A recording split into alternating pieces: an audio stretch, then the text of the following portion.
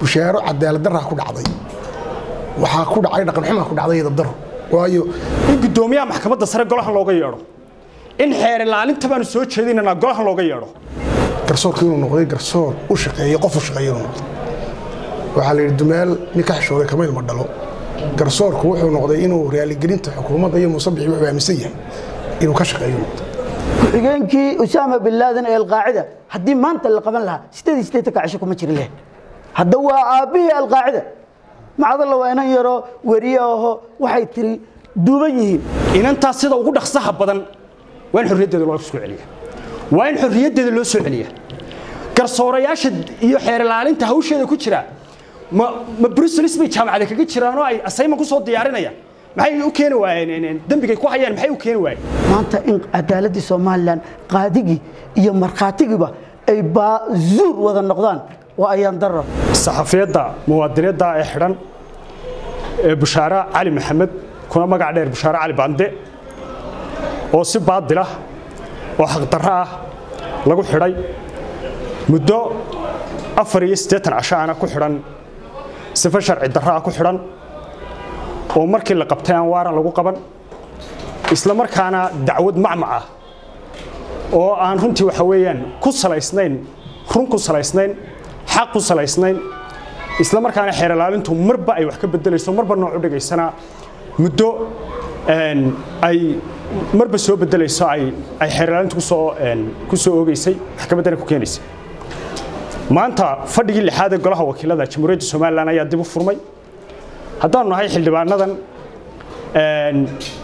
matala saxafiyadda ee xildhibaanadeediia iyo xildhibaanada kale ee golaha wakiiladaba waxaanu doonaynay saaka in runtii aanu ka soo aanu qaraar arrintaa runtii goloweynuhu aanu doonaynay inaanu horgeyno saaka golaha oo fadhigiisu furmay.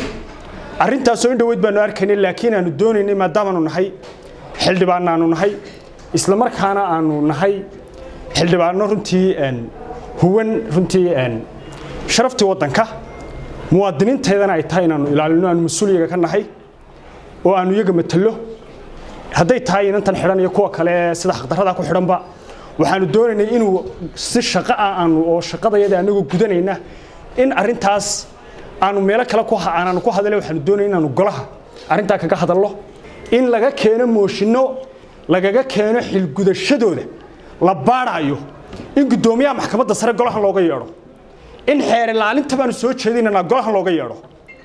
Waddankani one man show maaha inuu nin ku takrifalo waddankan maaha inuu nin wuxuu doonaya waddankan ka yeela maaha dalkani waa dal sharci leh waa dal ay qasab tahay in lagu dhaqmo shuruucdiisa dastuurka somalilanna loo hoggaansamo looma haysto awood in qof saddex bilood muwaadin ah qofka waa in ama dembi lagu caddeeya oo maxkamad xukunta ama waa in xorriyaddiisa loo soo celiya waxaanu soo jeedinaynaa inantaas sida ugu dhaqsaha badan xorriyaddeeda loo soo celiya waa in xorriyaddeeda loo soo celiya garsoorayaasha iyo xeer ilaalinta hawsheeda ku jira ma ma bruselis bay jaamacada kaga jiraan oo ay asayman ku soo diyaarinayaan.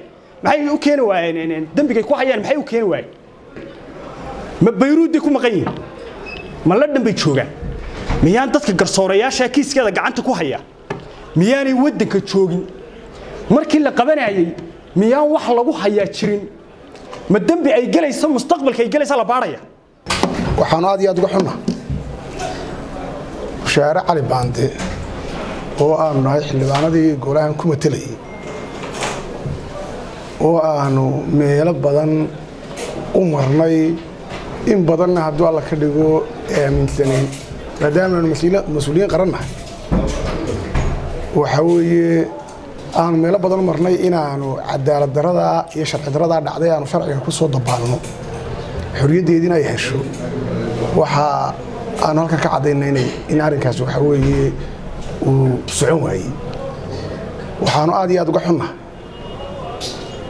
in hay'addii garsoorka oo ay ahayd hay'ad cadaaladeed oo qaranka dhaar ugu martay inay hay'adaha dhardhaaraha dowladda dhardhaarkii saddexaad weeye dhardhaarkaasoo la doonaya inuu ka cadaalad sameeyo muwaadiniinta la soo eedeeyo inagoo aaminsan in muwaadinka la eedayn karayo inagoo aaminsan muwaadinku dembi geli karayo laakiin dembigaa lagu sugo in procedure sharcina loo maro garnaq cadaaladeedna u helo. Waxaan halkan ka caddaynaynaa in inantaa oo maanta waxaa weeye accountable oo ahayd hay'adaha sharciga ee garsoorka garsoorka inuu noqday garsoor u shaqeeya qof u shaqeeya inuu noqday waxaa la yidhi dumeel nin ka xishooday kama ilma dhalo. Garsoorku wuxuu noqday inuu raaligelinta xukuumadda iyo muusabixi wuxuu aaminsan yahay inuu ka shaqeeyo. Noqdo waxaa weeye garsoorkii waa la siyaasadeeyey. Siyaasad baa gashay. Garsoorka waxaa saxa wixii xukuumaddu wadato. Waxaa khalada wixii xukuumaddu khalad u aragto. Uu weecday garsoorkii. Waxaanu aad iyo aad uga xunna. Iyadoo garsoorayaal badan oo qiimo badan oo aqoon sharcilii ku jiraan inaan kuwii aqoonta sharci lahaa aan mas'uuliyad ay kaga go'aan gaadhaan inantaa haynin. Kuwa go'aanka iyo kiiska inantaa wadaana waa kuwo aan sifihii sharciga ahaa ee waxaa lagu yaqaanay garsoore madax bannaan qaaraan ku shaqaynan weye aad iyo aad baan uga xunna. Haddii aynu maqli jirnay cadaaladdarooyin dhacay iyo wakhti laga sheekeeyo dowlado baydhay oo dadka xuquuqaadkoodii ku tacadeeyey dowlad weliba maalin bay baydha dowlad weliba kiisaskii ay dowladaha qaar ku baydheen ee lagu riday. Kiisaskaa bushaaro kiisas ka yaran bay ahaayeen marka aad iyo aad baanu uga xunna. Bushaaro cadaalad daraa ku dhacday. Waxaa ku dhacay dhaqanxumaa ku dhacday dabdaro waayo sharci daradu dhaqanxumo waxba way ka hoosaysaaba. Wey markaa waxaan leeyahay miirqabka xukuumaddu waxay u aragta in la dagaalamo oo waxaa weye la iska celiyo laakiin annaga waxaan leeyahay miirqabku kaa kuma jiro. Miirqabku wuxuu ku jiraa in sharciga lagu wada hadlo miirqabku wuxuu ku jiraa in nidaamka loo soo noqdo miirqabku wuxuu ku jiraa in sharciga loo hogaansamo miirqabku wuxuu ku jiraa in hay'adda la luqunjibaadhay ee garsoorka ee maanta noqotay naxashka saaran. In waxaa weeye sharcigii loo soo celiyo ay waxaa weye xuquuqaha ummadda ay ilaaliso. Aad iyo aad baan uga xunnahay. Cadaaladda gaabisa iyo dulmigu waa isku mid. Marka cadaalad diin saaran diidiinka xayawaankan diidiinka ah laba mitir buu wuxuu soconayaa laba saacadood. Marka cadaaladii somalilan maanta inay noqoto alcadaala albadii'a wadulmi sawa in cadaaladda somalilan ay maanta tahay cadaalad gaabinaysa oo maaragtay curyaaman. Waa ayaan daro ilaahayna ma curyaamin dad maskaxdoodu fiyowdahay baanu nahay. Qarankani waxa uu ku dhisan yahay waxa weeyaan waa dastuurka. Marka aad akhrisid u eg dasaatiirta caalamka horumaray ay haystaan oo kale oo egoo dimuqraadiyad ku dhisan oo ku salaysan. Qabaa'il kala duwan baynu nahay bulshadan isku timid waxa ay ku heshiiyeen waa dastuurkan laysku dhaqo. Wax horta ku jira maxkamad. Inaan si toosa u dirno maahan laakiin waynu aragnaa sideed iyo siddeetan cishay socotaa ayman adawaahiri ku-xigeenkii usaama bin laadan ee alqaacida haddii maanta la qaban lahaa sideed iyo siddeetanka cisho kuma jiri leh. Hadda waa aabbihii alqaacida. Macdalla waa inan yaroo weriye aho waxay tiri duuban yihiin waxaa somalilan horena u sheegay oon maantana u sheegaya.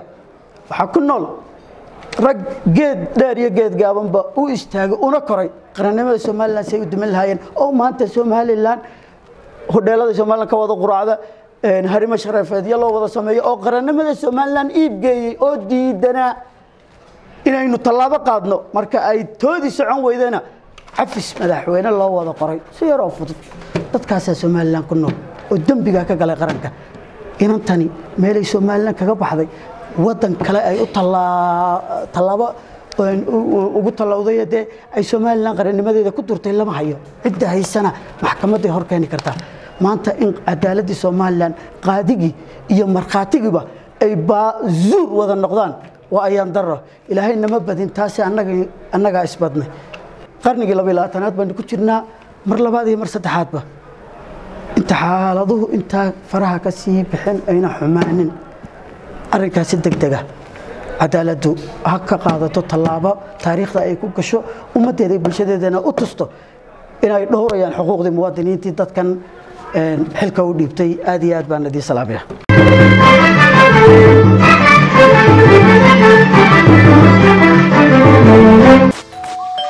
Maasha allah soo dhowaada.